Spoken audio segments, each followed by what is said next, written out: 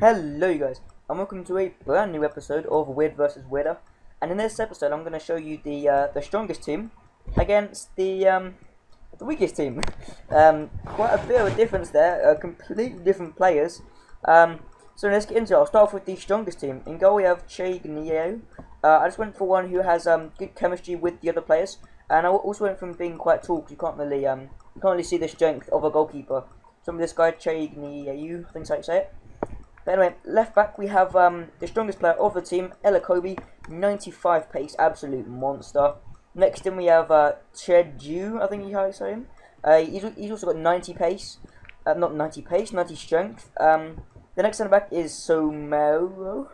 Uh, he has 92 pace, absolute beast there, especially um, for a bronze. That is a lot of strength. And then um, right back we had Wait Wasilewski. I think that's how you say it. He is the weakest player of the team. He only has 88 strength, but still absolutely amazing for a um for a right back. Right, onto the centre mid, we have the Inform De Sutter. Uh, he has 91 strength, which makes him pretty hard to uh, push off the ball. Uh, next player we have Vesel Veselinovic, I think, and he has 92 strength as well. And uh, the last one is Pauga. Uh, he also has 92 um, strength, which makes um, a very good strong uh, central um, midfield. And uh, onto the left mid, we have Mokulu. He has 92 strength. This guy is an absolute monster. Um, I've played with him before. He's absolutely beast. I've had him in a um, Belgian Pro League team, and um, he was pretty much unstoppable on the left. And a striker, we have Koulibaly. yes, like I said, he looks like a rapist, and he has 91 strength. Uh, don't want him uh, to pin you down or anything. anyway, on the uh, right wing, we have a left wing, and we have uh, this guy, Dami. He also has 92, um, 92 strength.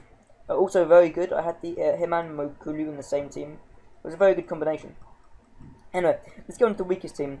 In goal, we have Luciano. He is the smallest goalkeeper that is Brazilian. He is only 5 foot 8. on the centre backs, we have Marquinhos. He has 55 strength. Uh, next to him we have Matthews, who has 60 strength. And uh, next to him we have Perez, who is the strongest player of the team, and he has 70 strength. On to the right mid, we have uh, Rodriguez. He has 34 uh, strength, makes him very, very weak. Uh, next to him we have Morales, 27 um, strength. He is the weakest player on the game. Uh, if, if anyone basically gets anywhere near him, he just falls over. Uh, that's why he is not as good as his stats tell you. Um, uh, next then we have Oscar. He has only 29 strength. You can't actually feel that with him to be quite. I, I, when I played with him, I thought he um, actually thought he uh, felt quite like strong. But um, I don't know. Uh, anyway, left mid we have uh, Joazinho. He has 32 strength. Uh, and on the left wing we have uh, Carlos, 34 strength. Uh, on the right wing we have Iturbe. He has 40 strength. He does have 90 pace, which makes him absolutely incredible.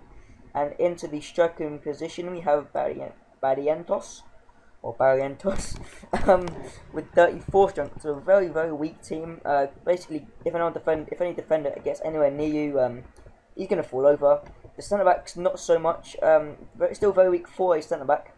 But if you come up against like uh, someone like Akinfenwa or someone like that, um, you be fucked. Is how I'd like to say that. But um, anyway, I hope you guys have enjoyed this episode. If you did, please do leave it a like. But for now, I'll see you guys next time.